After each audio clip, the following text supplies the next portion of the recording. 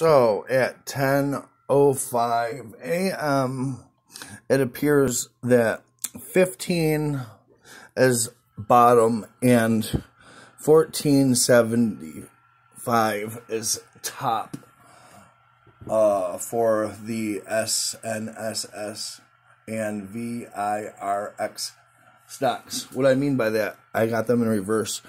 Um, it appears that the top and the bottom are um, coalescing in between 15 and 1475 so somewhere in there is where the stock is at the moment right now.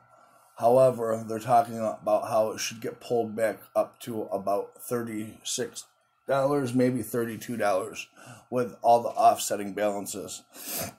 Um this could take move on um fairly quickly or fairly slowly depending on the amounts of mergers that are going to be happening in this merger.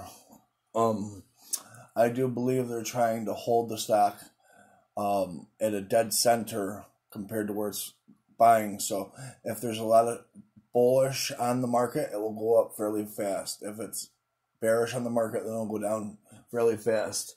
Uh, we'll see how it goes and watch it fly up or down. It's all dependent on us, I guess. All right.